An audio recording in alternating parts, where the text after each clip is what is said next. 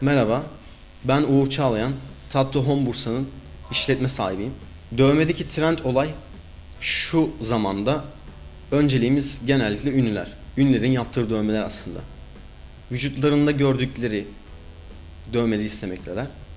Onun haricinde geometri dediğimiz bir olay var aslında.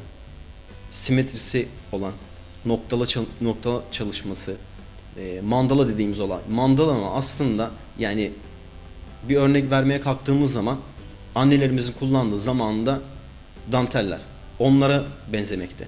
Bunun haricinde genellikle renkli çalışmalarda tercih ediliyor ama bu kişiye göre değişiyor aslında. Siyah beyaz dövmeleri sevenler de var. Aslında şöyle bir şey tercih edilecek olan dövmenin kişinin tenine de uygun olması lazım. Yani renkli dövmeler genellikle beyaz tenlerde daha güzel duruyor. Daha patlak bir durumda çıkıyor. Siyah beyaz dövmeler ise daha koyu tonlarda çalışması gerekmekte. İstenildiği takdirde şimdi şöyle bir olay var. Ee, kendinizin anlatan bir çizim aslında. Yani kişi özel dediğimiz olay bu. Siz öncelikle ne istediğinizi söyleyeceksiniz.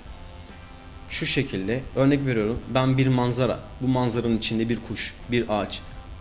Buna nazaran bir resim çiziliyor.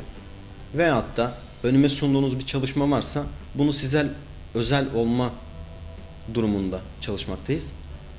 İstediğiniz herhangi bir dövme olduğunda size uygunsa yani uygunsadan kastım teninize sizin taşıyabilecek misiniz? Yani taşıyabilecek misinizden kastım şu vücuttaki bölgeler aslında. Yani doğru bölgede doğru dövme.